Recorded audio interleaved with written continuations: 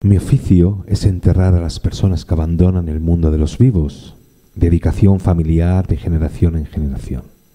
Soy el enterrador del cementerio de mi pueblo y este amanecer he enterrado a una bella mujer que en sus manos cerradas sostenía una carta. Al percatarme del escrito, los traigo y comienzo a leerlo. Estoy a punto de fallecer y un sinfín de remordimientos invaden a mi cuerpo, mente y espíritu. El primero de ellos es que tenía que haber mandado abonar el campo a muchas personas que me han amargado la vida. Haber sido un poco más valiente y encararme a ellos, defendiendo mis derechos y decisiones.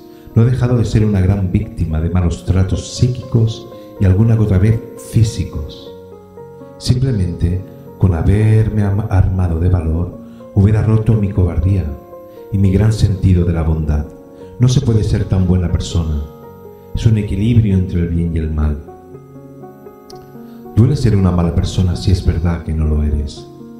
Lo cierto es que no te puedes fiar de casi nadie.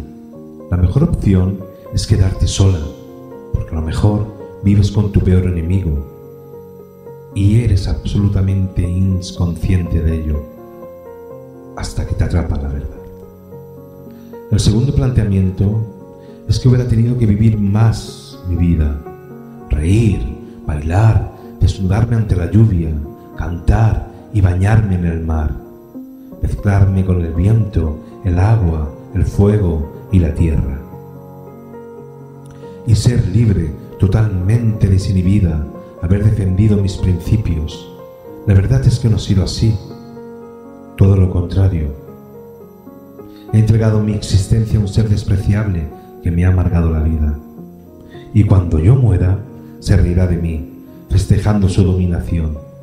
Y buscará otra víctima prometiéndole bellas flores que al final se convertirán en paja seca por descuidarla y maltratarla. Una vez que muera, seré de nuevo libre y danzaré al son del ritmo de mi corazón, de mi verdad, y dejar de vivir en este abuso. Pagaré por el cementerio, mi espíritu vagará por el cementerio, para así asegurarme que no le pasará lo mismo que a mí, a otro ser. Estaré en el cementerio día y noche para saber quién se merece vivir o no. Al final te das cuenta que somos las buenas personas con las malas personas. Mi marido está a punto de matarme sé que me va a matar.